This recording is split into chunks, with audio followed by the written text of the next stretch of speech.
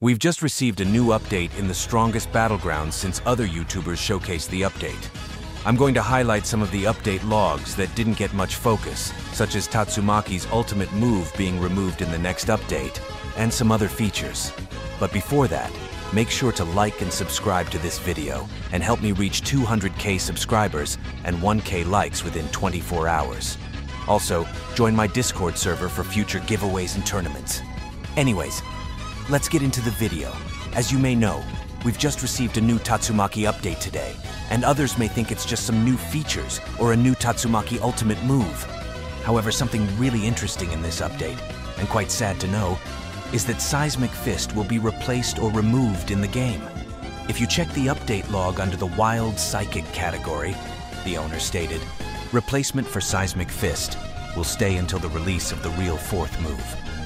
This means Seismic Fist will be the fourth move for now, and will be removed when the new fourth move is released.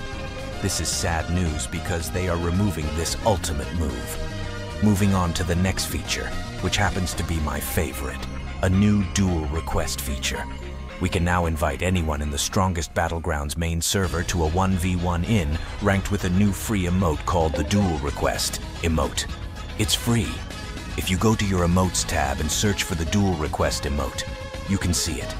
If someone uses the emote with you, you will get teleported to the ranked game mode. That's all for this video. I hope you learned something from it, and I'll see you in my next one. Peace out.